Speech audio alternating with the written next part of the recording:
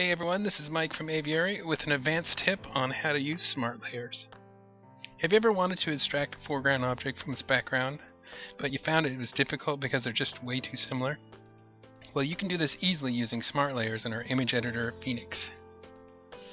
So as you can see in this image, the snail is very similar to its background. And this makes it hard to use, say like the magic wand to extract the snail from the object you just pick up too much of the foreground.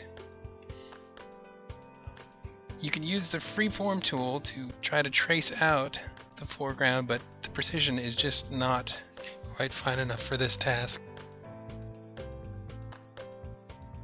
So this is where smart layers can really help. We can create a vector layer mask a lot like the ones in the desktop editors. So to start off, let's get rid of the selection and duplicate the layer.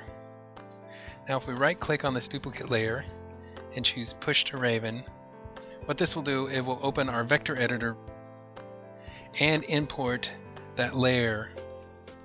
Now that we got our layer into Raven, let's just get ready to trace using the path tools. So let's just zoom in on our snail here a little bit.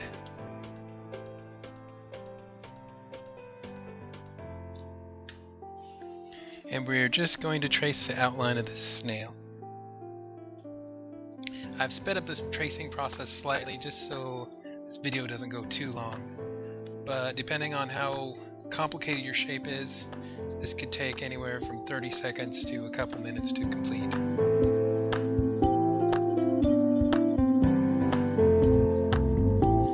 Then we can use the editing tools to adjust the outline.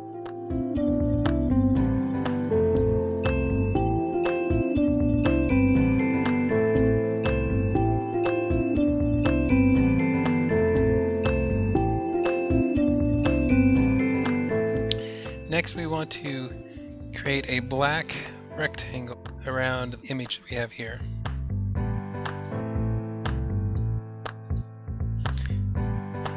And then we'll send that behind the white shape.